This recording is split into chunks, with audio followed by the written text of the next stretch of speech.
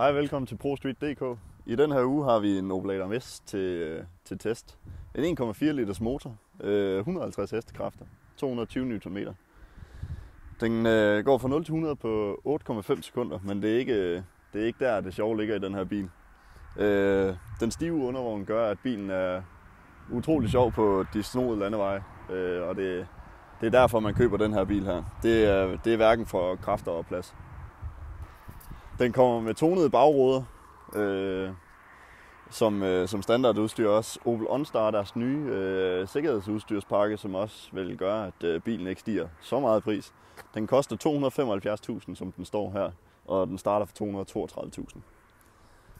En øh, halvårlig ejerafgift på 890 kroner gør, at øh, bilen ligger i den billigere ende af GTI-klassen øh, mål på mængden af udstyr og kvaliteten.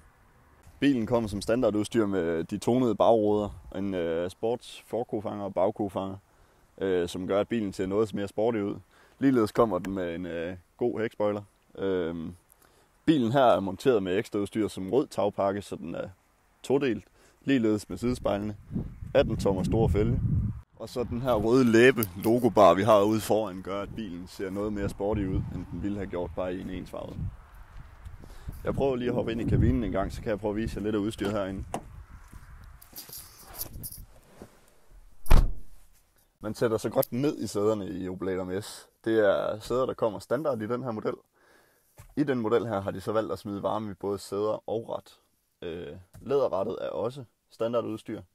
Øh, den kan fås med en todelt farve hernede i bunden, ligeledes på gearknoppen.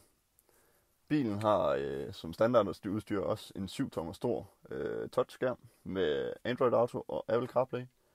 Øh, det giver seks højtalere fordelt rundt i bilen, der giver en rigtig, rigtig god lyd. Ligeledes noget ekstra udstyr, der er inde i kabinen her, det er den taghimmel, I ser her som skakternet. Det er ikke øh, en, en detalje, jeg vil betale ekstra udstyrs penge for. Øh, der havde jeg nok bare valgt den klassiske himmel. Der er nogle fede detaljer rundt i kabinen her med nogle røde og grå farver, der spiller rigtig, rigtig godt sammen. Bestemt det S, der er på instrumentbordet oppe, det, øh, det ser rigtig godt ud. Hvis vi øh, prøver at hoppe om på bagsædet en gang, så kan vi lige prøve at se, hvor meget plads der er der. Det er, uden at give en spoiler, ikke ret meget.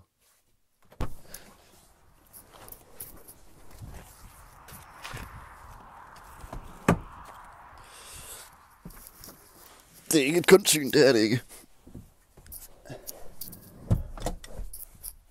Sådan der.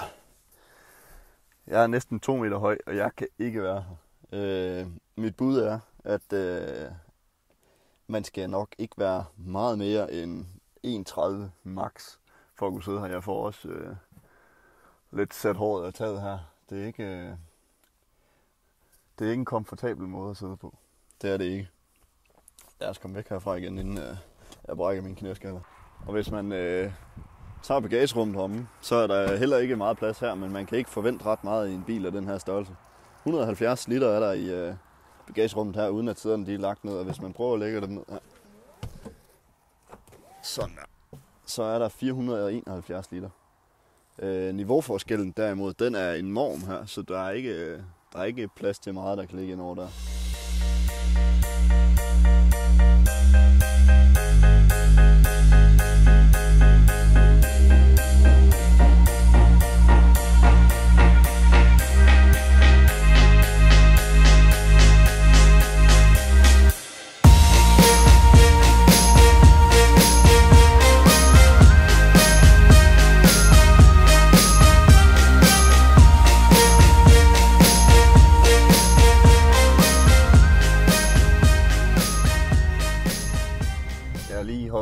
Øh, i bilen her, mens vi kører for at give en lille demonstration af, at bilen er sjovest på landevejene.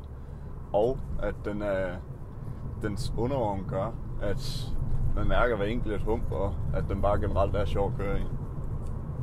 Den er som sagt ikke lige så stiv som Corsa OPC, men øh, den læner sig deroppe af, og det er virkelig, virkelig tydeligt, når man kører ud på de her sjove veje her.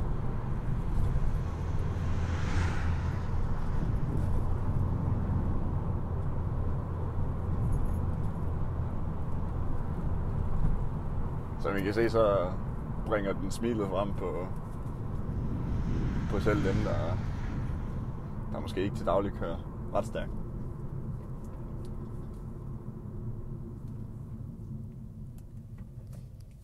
Så vender vi lige en gang.